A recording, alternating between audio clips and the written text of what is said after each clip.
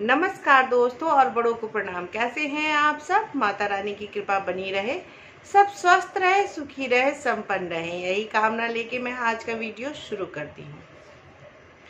दोस्तों, आज का वीडियो बहुत ही छोटा है, लेकिन बड़े ही काम का है। अक्सर आपने देखा होगा कि कई सारी परेशानियाँ उत्पन्न होती हैं पैसों को लेकर। कभी कभी आपने देखा होगा कि पैसे आते हैं, लेकिन पैसे रुकते नहीं हैं। कई बार बहुत सारी वीडियो बनाई गई हैं पैसों को लेकर, लेकिन कभी कभी कोई कहता है कि मैंने ये उपाय किया, लेकिन मुझे कोई फ़ायदा नहीं हुआ। तो आपको हम बता दें कि शास्त्रों में बहुत सारे उपाय बताए गए हैं कि अगर आपका एक उपाय किसी कारणवश पूरा नहीं हो पा रहा है, शायद किसी ग्रह नक्षत्र की वजह से पूरा नहीं हो पा रहा है तो आप दूसरे उपाय को कर लें। इसमें आपको कोई हानि नहीं है, कोई भी आपको परेशानी नहीं होगी। तो चलिए, आज हम बात करेंगे पैसों से जुड़ी हुई कि अगर आपके पैसे, अगर आपके मनी में ब्लॉकेज आ गए हैं, आपके मनी कहीं रुका हुआ है, कहीं अटका हुआ है या पैसे आने के स्रोत नहीं है, तब आप ये उपाय करें। अगर आपके पैसे कहीं रुके हैं, आपके मनी में कहीं ब्लॉकेज आ गए हैं चाहे आप पैसे आपके पास आ रहे हैं, टिक नहीं रहे हैं तो आप ये उपाय ज़रूर करें। इससे आपको बहुत फ़ायदा होगा। और ये आपका कहीं इससे अगर मनी आने के स्रोत नहीं है, कहीं पैसे आने के कहीं से स्रोत नहीं बन रहे हैं तो वो भी बनने लगेंगे। इसको बहुत ही आसान है इस उपाय को करना। बस आपको कुछ ही चीज़ों की ज़रूरत पड़ेगी, लेकिन वो चीज़ें ज़्यादा महँगी नहीं है। तो चलिए स्टार्ट करते हैं कि वो उपाय कैसे करें जिससे घर में पैसे आने शुरू हो जाए। घर में पैसे की जो ब्लॉकेज है मतलब कि मनी जो रुका पड़ा है या मनी के आने के स्रोत नहीं है, धन के आने के स्रोत नहीं है, वो कैसे शुरू हो जाए। तो चलिए आज हम जानते हैं इससे पहले आप जाने मैं कौन, मैं नीतू, मेरे चैनल में आप सबका बहुत बहुत स्वागत है। अगर आप मेरे चैनल में नए आए हैं तो मेरे चैनल को सब्सक्राइब करना ना भूलें, बेल आइकन का बटन ज़रूर प्रेस करें। और अगर आपको मेरी वीडियो अच्छी लगे तो लाइक, शेयर, कमेंट ज़रूर करें और मुझे इंस्टा पे भी फॉलो करें। मैं डिस्क्रिप्शन में इंस्टा आईडी आपको दे दूँगी। सबसे पहले तो आपको लेना है सात पीपल का पत्ता।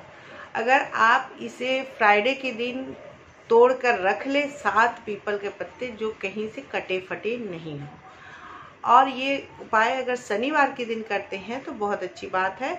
नहीं तो आप किसी भी दिन कर सकते हैं। केवल संडे के दिन को छोड़कर रविवार के दिन ये उपाय नहीं करें।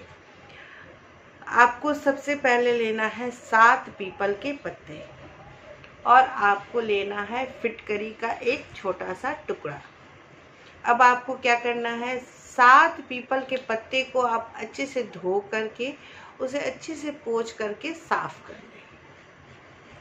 साफ़ करने के बाद आप दिनचर्या में जो आप पूजा पाठ करते हैं तो आप जब दिनचर्या में पूजा करने लगे तो उस पीपल के सात पत्ते को आप भगवान के चरणों में रख दें। जो भी आप देवी देवता को मानते हैं, जो भी आपके देवी देवता है, उनके सामने आप रख दें। रखने के बाद आप सब में एक स्वास्तिक बना दें। स्वास्तिक आपको कुमकुम से बनाना है, चाहे आप पीली सिंदूर से बना सकते हैं, उसमें थोड़ा सा गंगा जल डाल करके या थोड़ा सा घी डाल करके भी बना सकते हैं। बना करके आपको सारे पीपल के पत्ते में स्वास्तिक बनाना है। स्वास्तिक बनाने के बाद आपको एक छोटा सा फिटकरी लेना है। उसके बाद आपको कर लेना है, उसके बाद आपको फिटकरी लेना है, छोटा ले ले, चाहे बड़ा ले ले।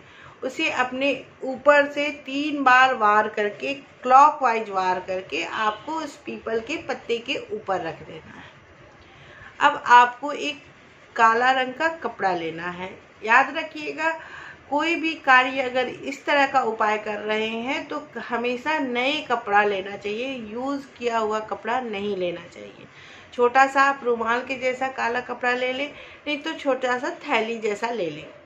अब आपको क्या करना है, उस पीपल के पत्ते को और उसके ऊपर जो फिटकरी रखा है, उसको उठा करके आपको उस कपड़े में रख देना है, चाहे आपने जो थैला लिया है, उसके अंदर डाल देना है। और अपने मन में उसी भावना को रखना है कि मेरी सारी फाइनेंशियल प्रॉब्लम दूर हो जाए, मेरे जितने भी ब्लॉकेज है धन को लेकर के, वो सभी खुल जाए, मेरे घर सभी रास्ते खुल जाए पैसे आने के। उसके बाद आपको ये करना है, उसके बाद आपको क्या करना है, आपको अगर आपके घर में ज़मीन है, यानी कि मिट्टी है आपके घर में तो आप उस मिट्टी को कोड़ के, थोड़ा सा कोड़ के उस पोटली को आपको ज़मीन के अंदर गाड़ देना है परमानेंट के लिए, हमेशा के लिए आप उससे गाड़ दें। अगर आपके घर में मिट्टी नहीं है, आप फ्लैट में रहते हैं तो आप एक काम और कर सकते हैं, तब आप अपने घर की तिजोरी में इसे रख दें। और एकदम अपने मन में ये सोचे कि मेरी सारी ब्लॉकेज धन को लेकर के ख़त्म हो जाए सभी तरफ़ से मेरे धन आने के स्रोत खुल जाए ये मन में आप रखें और जो भावना से मैं कर रही हूँ, वो भावना मेरा हमेशा मेरी कामना पूरी हो जाए।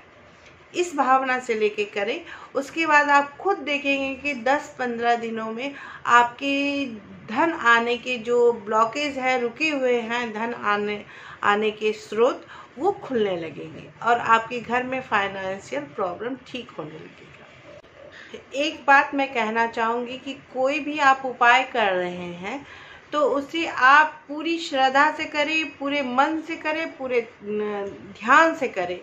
क्योंकि अगर आप कोई भी चीज़ को बस यूँ ही करते हैं कि चलो देखते हैं कि ये काम करता है कि नहीं करता है तो वो आप, कितना भी आप उपाय करेंगे, वो काम नहीं करेगा।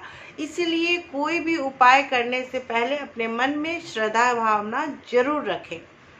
जब जब आप इस प्रक्रिया को कर रहे होंगे, जैसे कि जब आपने पीपल का पत्ता लिया और उसमें स्वास्तिक बनाया, तब आपके मन में बस आपकी जो भावना है, उसे आपको रखना है कि मेरा जितना भी ब्लॉकेज है धन को लेकर के, जितनी भी मेरी प्रॉब्लम है फाइनेंशियल सभी ख़त्म हो जाए और मेरे घर में धन आने के स्रोत खुल जाए और मेरा घर हर तरफ़ से मज़बूत हो जाए। इस तरह से आप मन में एक भावना को हमेशा इस भावना को ला कर रखें कि मेरा जितना भी परेशानियाँ हैं धन को लेकर, वो सभी दूर हो जाए। छोटी सी है, उपाय छोटा सा है, लेकिन मन में श्रद्धा और आप सच्चे मन से करेंगे तो हर चीज़ संभव है। जय माता दी, और कर्म तो करना ही करना है।